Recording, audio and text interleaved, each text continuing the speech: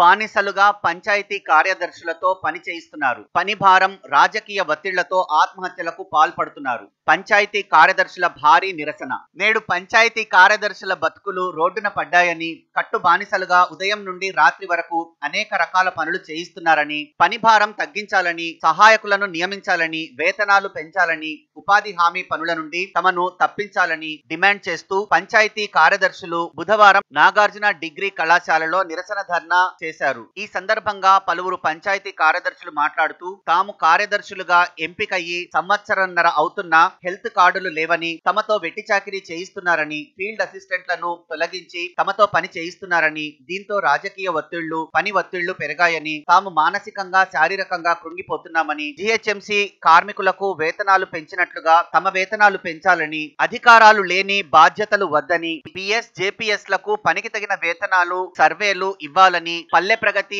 ఏపీపీలను రద్దు చేయాలని బంగారు తెలంగాణలో కార్యదర్శుల బలిదానాలు ఆపాలని కోరారు. తెలంగాణలో పంచాయతీ కార్యదర్శుల బతుకులు రోడ్డున పడ్డాయి. దానికి ఇదే నిదర్శనము. అసలు తెలంగాణ రాష్ట్రం ఏర్పడ్డాక ఫస్ట్ టైం ఒక నెగిటివ్ మార్కింగ్ ద్వారా తొమ్మిది వేల ఐదు వందల మంది పంచాయతీ కార్యదర్శులుగా ఎన్నికైనాము. కానీ మాకు కట్టు బానిసల కంటే ఎక్కువ కూడా ఇక్కడ చాకరీ చేయిస్తారు పొద్దున్న లేదు సాయంత్రం లేదు పొద్దున్న ఆరు గంటలకు వస్తే నైట్ ఎనిమిది తొమ్మిది గంటల దాకా మన ఎన్పీబీ సర్వే కూడా చేసినాం. దానివల్ల ఒక సెక్రటరీని కూడా కోల్పోయినాం ఈ ఇవాళ.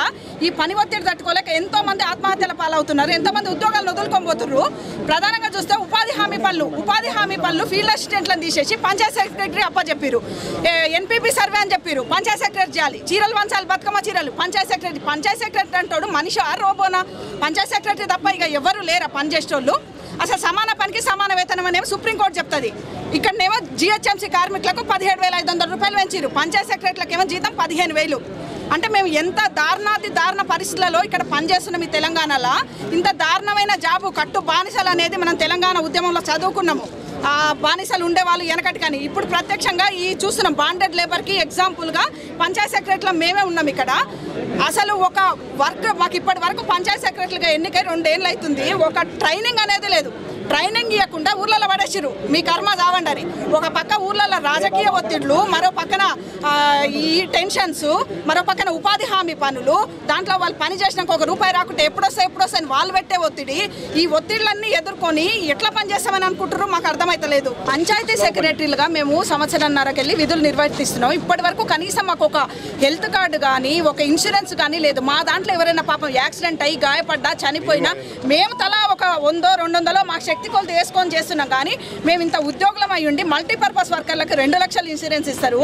పంచాయతీ సెక్రటరీలకు ఏమో హెల్త్ ఇన్సూరెన్స్ లేదు ఒక యాక్సిడెంటల్ ఇన్సూరెన్స్ లేదు. అంటే మేము ఒకవేళ పొరపాటున ఏదైనా యాక్సిడెంటల్గా చనిపోయినా మా కుటుంబానికి మళ్ళీ ఉద్యోగం ఇచ్చేది లేదు. మేము అనాథలం అనమాట ఈ బంగారు తెలంగాణలో పంచాయతీ సెక్రటరీల బతుకులు అనాథ పిల్లలు ఎట్లా ఉంటారు శిశు విహార్లా? అట్లా మేము అయిపోయినాం ఈ బంగారు తెలంగాణలో. కాబట్టి ఇప్పటికైనా మా పైన పని భారం తొలగించాలి పని భారం తొలగించి మాకు సమాన పనికి సమాన వేతనం అని సుప్రీంకోర్టు ఏ గైడ్ లైన్స్ ఇచ్చిందో అది మాకు అప్లికబుల్ చేయాలి. ఉపాధి హామీకి సంబంధించి మాకు ఫీల్డ్ అసిస్టెంట్లను కూడా మాకు ఒక సహాయకులను పెట్టాలి. దీంతో పాటు మాకు పే స్కేల్ అమలు చేయాలి. మూడేళ్ళు ఉంది మాకు ఇప్పుడు. మూడేళ్ళు అయినాక ఆయనకు నచ్చితే రెగ్యులరైజ్ చేస్తారంట. మాది రెండేళ్ళకు తగ్గించాలని మేము కోరుకుంటున్నాం. మన కేసీఆర్ గారు మాట్లాడింది ఏంటంటే అసలు కాంట్రాక్ట్ ఉద్యోగులు ఏందా? కాంట్రాక్ట్ సీఎం ఉంటాడా? కాంట్రాక్ట్ ఎందుకు ఉద్యోగులు? అసలు మన తెలంగాణ వస్తే కాంట్రాక్ట్ ఉద్యోగులు అనేవాడు లేడు అని మన మన ముఖ్యమంత్రి గారు మాట్లాడిన తర్వాత ఇదే ముఖ్యమంత్రి గారి మొట్టమొదటి నియామకం జూనియర్ పంచాయత్ సెక్రటరీలు ఇదే కాంట్రాక్టు వ్యవస్థకు నిదర్శనం. అంటే మీకు అవకాశం ఉన్నప్పుడు రాజకీయంగా ఏదైనా మాట్లాడుతారు ఉద్యోగుల రోడ్ల మీద వేస్తారు.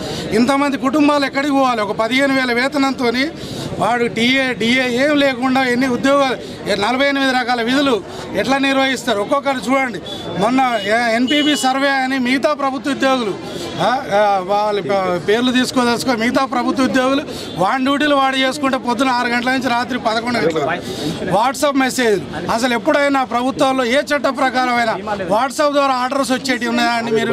ఏ చ- ఏ చట్టాన్ని ఫాలో అవుతున్నారు పంచాయతీరాజులు? వాట్సాప్లో పంపిన ఆర్డరేనా?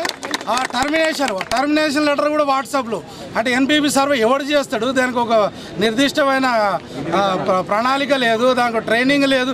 అసలు మీడియా ముఖంగా మీరు ఎవరికైనా మీడియాలకు మీడియా ముఖంగా ప్రజాప్రతినిధులు కానీ ముఖ్యమంత్రి గారు కానీ మీరు సర్వే చేయించుకొని ఏ ఒక్క పబ్లిక్ కానీ ఇన్ఫర్మేషన్ ఇచ్చారా? లేదు. ఉద్యోగుల ఎత్తి మీద పడేసి మీరు పోండి వాడిని ఎతకండి. మీరు ఇన్ని రోజులు వేసిన పల్లె ప్రగతి కార్యక్రమాలు ప్రతి గ్రామంలో మీరు చూడండి అన్ని మీ అభివృద్ధికి కారకులే మీకు కనబడుతున్న అభివృద్ధి కారకులు ఈ పంచాయత్ సెక్రటరీలు వీళ్ళని ఎప్పుడు పట్టించుకుంటారు?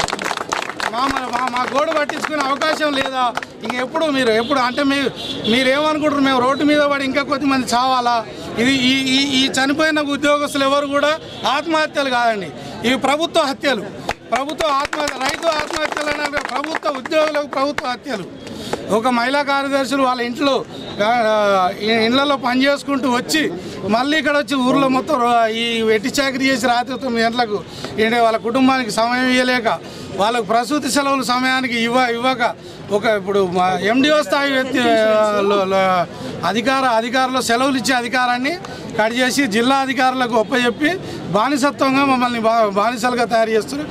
ఈ బానిసత్వం వాళ్ళు ఈ కార్యక్రమంలో Janardhan Reddy K Srinivas B Ramakrishna S Satish Rajeshwar Reddy Anil Chennakesavulu Manikumar Venu Mahesh తదితరులు పాల్గొన్నారు.